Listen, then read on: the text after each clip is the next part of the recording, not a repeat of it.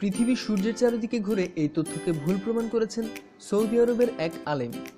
নিজের গবেষণার কথা বলে তিনি দাবি করেছেন, পৃথিবী একটি নিশ্চল বস্তু, এটি নড়তে পারে না।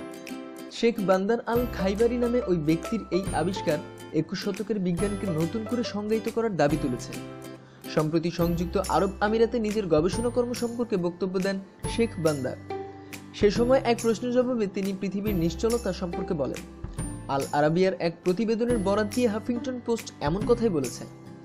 নিজের গবেষণা সম্পর্কে বোঝাতে শেখ বান্দার বলেন, পৃথিবী নিশ্চল এবং তা নড়াচড়া করতে পারে না। যদি পৃথিবী নিজের কক্ষপথে ঘুরত, তাহলে বিমান কখনোই তার গন্তব্যে পৌঁছাতে পারত না। আরবের এই গবেষক প্রচলিত কোপার্নিকাসের মডেলকে খারিজ করে দিয়েছেন। বিশ্বের কোনো বিজ্ঞানী তার গবেষণার ফলকে অস্বীকার করতে পারবে না বলেও দাবি করেছেন শেখ বান্দার একই সঙ্গে নাসার চাঁদে যাওয়ার বিষয়টি হলিউডের সৃষ্টি বলে তিনি মন্তব্য করেছেন। নাসা বা ইউরোপিয়ান স্পেস এজেন্সি এই আলমের আবিষ্কারের ব্যাপারে এখনও কোনো মন্তব্য করেনি। পৃথিবীর রকমারি খোঁজখবরের জন্য সাবস্ক্রাইব করুন। ধন্যবাদ।